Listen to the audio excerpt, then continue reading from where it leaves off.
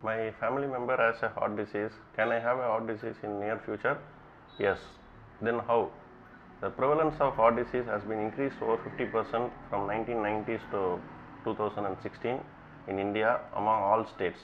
Having family history is a non-modifiable risk factor. That means you can't change that.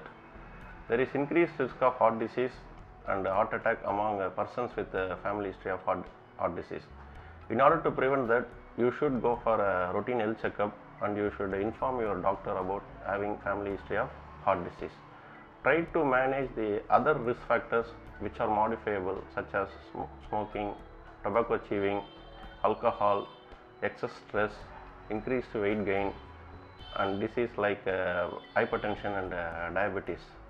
Consult your doctor uh, regarding your family history. He may suggest uh, aspirin or uh, statins which lower the lipids in uh, blood.